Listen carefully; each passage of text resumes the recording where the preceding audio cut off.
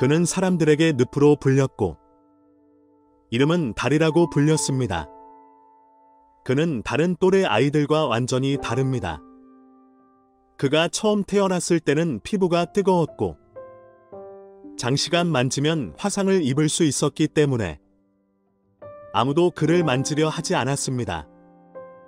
그의 아버지 요셉은 지금처럼 그에게 계속 물을 주었고 처음에는 사람들이 그를 악마로 여겼고 많은 사람들이 그에게 겁을 먹었습니다.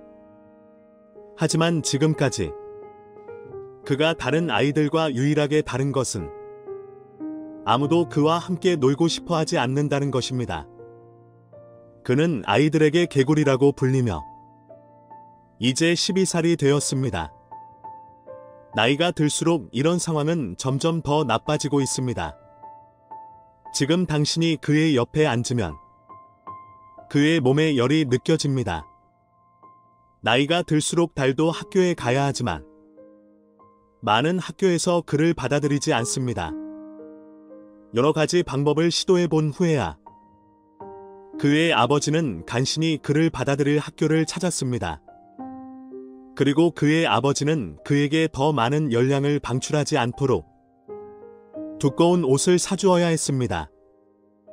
때때로 그의 몸은 매우 뜨거운데 이때도 그는 반드시 집으로 달려가 몸에 찬물을 부어 식혀야 합니다.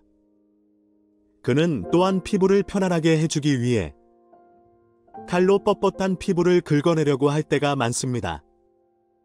요셉도 가끔 병원에 가서 약을 받아 달의 몸을 식히곤 했지만 소용이 없었습니다.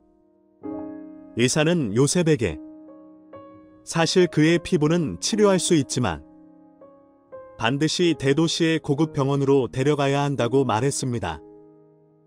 그는 갈 돈이 전혀 없기 때문에 이렇게 차일피일 미뤄지고 있습니다. 피부 트러블 말고도 다른 똑똑하고 귀여운 아이예요. 머나먼 아프리카 마을에도 이상한 어린 소녀가 있었습니다. 희귀한 피부병에 걸려서 그녀는 석유화학에 직면해 있습니다. 그녀의 이름은 더비니이고 마을 사람들은 그녀를 괴물이나 악마라고 부릅니다. 더비니의 아버지는 이것이 무엇인지 어떤 병인지 전혀 몰랐지만 딸의 정상적인 생활을 완전히 망쳐버렸다고 말했습니다. 딸이 괴질에 걸린 이후로 집안이 평온해진 적이 없어요. 그의 첫 아이이자 유일한 아이입니다. 딸이 이렇게 된 것을 보고 아버지는 눈을 믿을 수 없었습니다.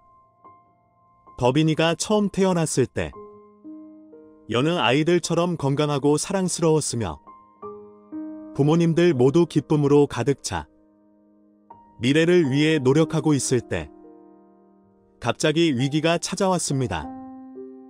더비니의 피부에는 서서히 구진이 생기기 시작했는데 처음에는 델과 아내가 신경 쓰지 않고 며칠 지나면 괜찮아질 거라고 생각했어요. 하지만 곧 더비니의 피부는 나아지기는커녕 더 나빠졌고 그제서야 문제의 심각성을 깨달았습니다. 그들이 지역 병원으로 데려갔을 때 의사는 더비니의 피부 위에 있는 구진을 보고 무력하다고 말했습니다.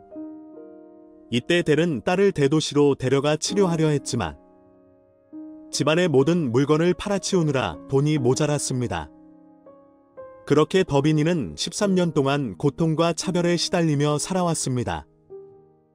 그녀의 피부는 돌처럼 보이고 고약한 냄새도 납니다. 마을 아이들은 그녀를 보고 멀리 숨었고 어른들은 감염될까 봐 더비니를 멀리하라고 가르쳤습니다. 피부병을 앓고 있지만 더비니는 학교에 가는 것을 포기했습니다. 학교에서는 아무도 그녀와 함께 앉기를 원하지 않고 자주 괴롭힙니다. 엄마도 선생님에게 가서 선생님에게 도움을 청할 것입니다. 그녀는 괴물이 아니라 무고한 소녀일 뿐입니다. 차별도 두려움도 없이 정상적인 아이처럼 받아주면 됩니다. 선생님들도 다른 아이들이 그녀를 받아들이도록 최선을 다하고 있지만 더빈이는 오랫동안 차별을 받아왔고 다른 사람들과 교류하는 것을 두려워했고 선생님도 그녀가 하루빨리 그늘에서 벗어나기를 바라며 격려해 주셨습니다. 학교가 끝날 때는 더빈이가 가장 즐거울 때이고 집은 그녀의 피난처입니다. 학교가 끝나면 그녀는 집으로 빨리 걸어갑니다. 집에는 차별이 없고 오직 그녀를 사랑하는 아버지와 어머니만 있습니다. 그녀를 치료하기 위해 몇 년 동안 집에서 팔 수 있는 모든 것을 팔았습니다. 델은 자주 교회에 가서 기도하고 착한 목사를 만났는데 목사는 자신의 저축을 아이들의 병을 고쳐주고 온라인 모금도 준비했습니다. 이 어린 소녀가 몇 년 후에 고치를 깨고 나올 수 있기를 바랍니다. 하지만 인도에서 온 11세 소녀는 불행한 어린이임에 틀림없습니다. 그는 괴질에 걸려서 온몸의 피부가 돌처럼 딱딱하고 말라서 사람 전체가 석유화되었습니다. 그리고 이런 괴질은 세계적으로도 드물고 현지 의사들이 보고 고개를 저을 정도로 안타까워요. 이 괴질을 비늘병이라고 하는데 어린 남자아이가 걸리는 정도가 아주 심한 것으로 알려져 있습니다. 이제 어린 소녀는 수년 동안 병에 걸렸고 그의 가장 심각한 부위는 그의 머리에 있으며 우리는 그의 머리가 이제 천천히 돌로 변하고 있음을 분명히 알 수 있습니다. 이 괴질에 걸려서 어린 소녀는 그부도 친구도 없이 매일 집에서 외롭게 살아야 했습니다. 어린 소녀는 가정 형편이 어려워 현지 병원에서 보존적으로 치료해야 합니다. 현지 의사는 이런 괴질에 손을 댄 적이 없어 방법이 없었습니다. 소년의 아버지는 소년의 병을 줄이기 위해 내일 물을 사용하여 소년의 몸을 담그고 돌처럼 단단한 피부를 부드럽게 만들었습니다.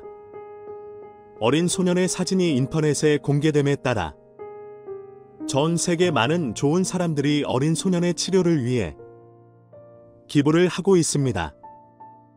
어린 소년이 치료를 받은 후 이 괴질은 분명히 완화되었습니다. 하지만 결국 정상인의 삶을 완전히 회복할 수 있을지는 미지수입니다.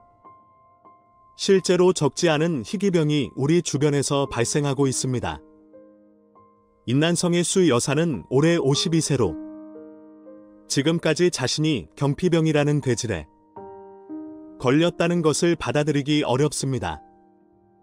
10년 전, 수 여사는 자신의 손이 추우면 피가 나지 않는 것처럼 하얗게 파랗게 변하는 것을 발견했습니다. 너무 추운 줄 알고 별로 신경 안 썼어요.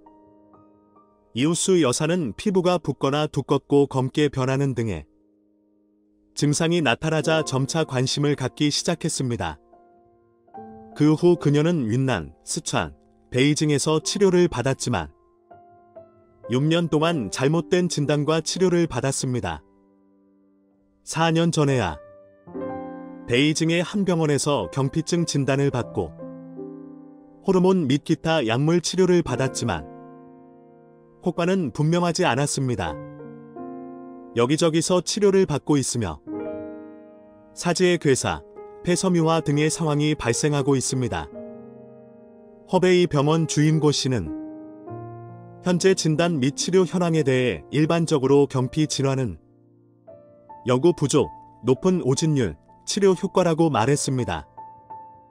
이 환자의 낮은 유병률로 인해 국내외 연구는 깊이와 범위가 충분하지 않으며 대부분의 임상에 특히 1차 의사의 진단 의식이 부족하여 오진을 초래합니다.